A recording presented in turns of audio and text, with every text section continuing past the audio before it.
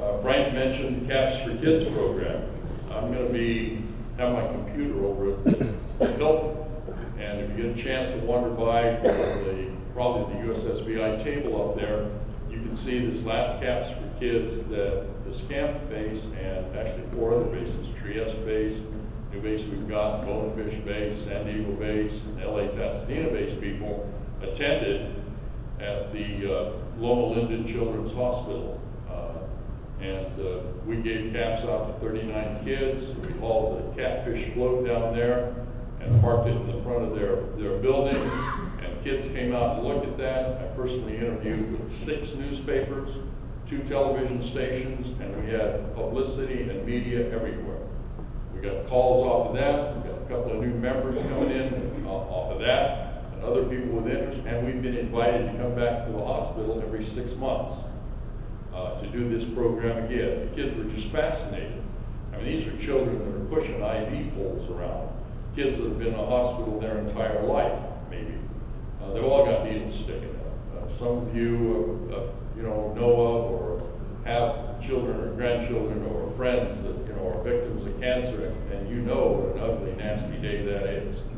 So these kids were just really pumped up. It was, they all got a certificate with stars on it, It says they're honorary submariner, signed by two qualified boat sailors, which made it authentic. And they all got a picture of a submarine, uh, which they keep, they love those pictures.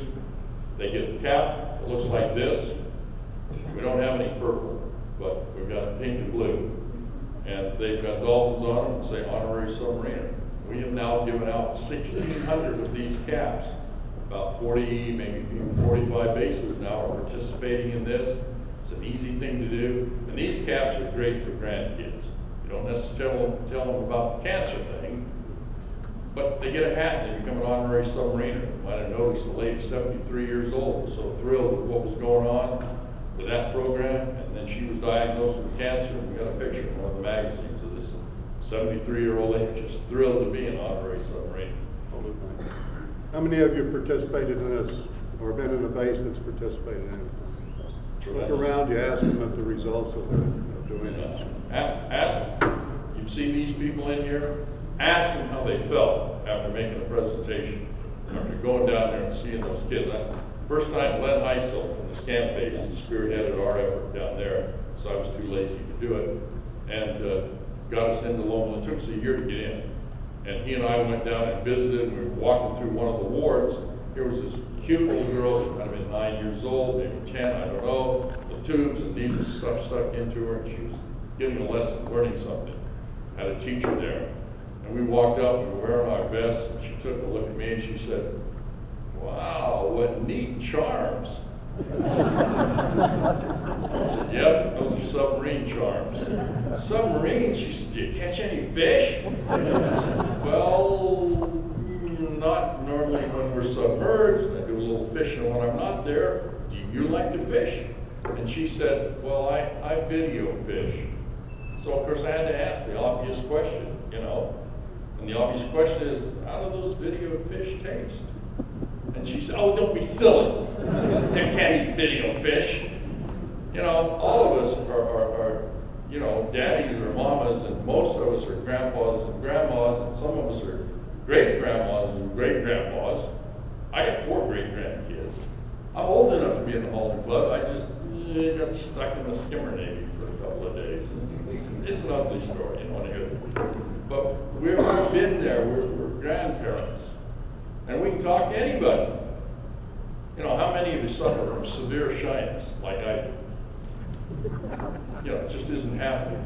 And talking to those kids, I mean, it's such a break for them. It's better than a day at the circus. Why is that? Because they can't go to the circus. They like the charms, they like the patches, they like to talk about submarines, they like to talk about fishing, anything. So it, it's really a feel-good thing. It's a win-win-win situation. Kids win, you win, we get some media exposure to tell people we're here, get the community on our side. You know, we've been the silent service forever. Well, we need to be, from Subvet's point of view, a little more visible. There are somewhere between, my guess, and we're gonna find out, this Pat Householder is working on this uh, project, to help me with it. We're gonna find out how many submariners there are in this country. We've got a secret, I can't tell you the secret right now. But I think there's probably somewhere between a quarter of a million and four hundred thousand boat sailors in our country. We have twelve thousand seven hundred members. Are we missing a couple of people? Yeah. And every time I sign somebody up, every time, without fail, that doesn't know, has never been a member of USSVI, the first or second thing they say was, man, I didn't know you guys existed. Hello? Of course we do, and yeah, we're here, but they just haven't heard about us. So that's our job, to get that word out, to bring them in, because we need relief crews and mess cooks. I should have said that. Uh, So we, we, we need that. Thanks. And uh, that's my, my official photographer. And you notice he's not taking any pictures of me. I hate this guy. No, I, it, it, it's Robert Bissonette. He just retired after twenty-six years or two hundred and four years, I forget which it was, in our Navy. And, and uh, now he's a civilian working harder than he ever worked in his entire life. Can't even afford pants that go all the way to the floor. Um, But he, but he's a hell of a guy. I, I like Robert. So, you know, and this is stuff to have fun. Sundance is a place to have fun.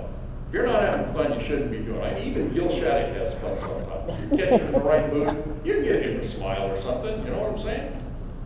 Uh, There's a couple of guys don't, but we won't talk about them. I don't need more trouble than I've already got. Anyway, listen, I'm honored to be here. Looking forward to being in the Holland Club someday. I want Frank's job someday. I, I want to be the chairman. And I- it's not because I need any more fame than I've already got, it's just because I want to help. So I want to thank you very much for listening, and only two or three of you went to sleep, I understand, it's damn near my nap time. And uh, I really appreciate that, so it's tremendous.